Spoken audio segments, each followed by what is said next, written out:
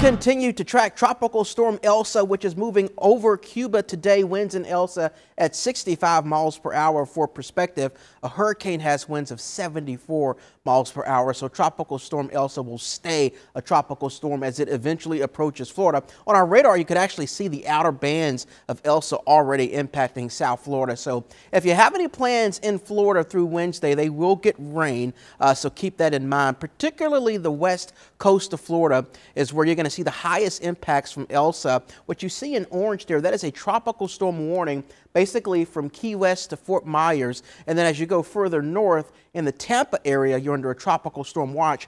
The difference is when the tropical storm conditions will start. It's expected sooner in South Florida under the tropical storm warning and then later as you head further north. But again, Tuesday and Wednesday for the west coast of Florida is when they will see heavy rain, gusty winds, and storm surge as Elsa basically rides up the west coast of Florida as you can see here with the latest track. The good news for Metro Atlanta is that after it makes landfall in Florida on Wednesday, Elsa will quickly turn toward the north and east. So we will not see a direct impact from Elsa in Metro Atlanta. In fact, I've taken our forecast map, and zoomed it out so you can see pretty much the entire Gulf of Mexico. Notice how the heavy rain will be confined again to really uh, the west coast of Florida. And then notice how that quickly turns off toward the north and east. So if you plan on heading uh, toward South Georgia or Southeast Georgia on Wednesday, you're definitely going to see some heavy rain. But we really stay well west of the center of this storm, so our impacts won't be nearly as bad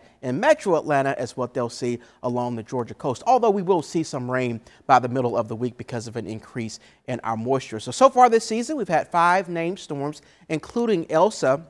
As you recall, Elsa was actually a hurricane on Friday, the first hurricane of the season before weakening back to a tropical storm over the weekend. So we have had one hurricane this season, a season that's expected to be above average. Of course, we'll continue to keep you up to date on the tropics right here in the CBS 46 app.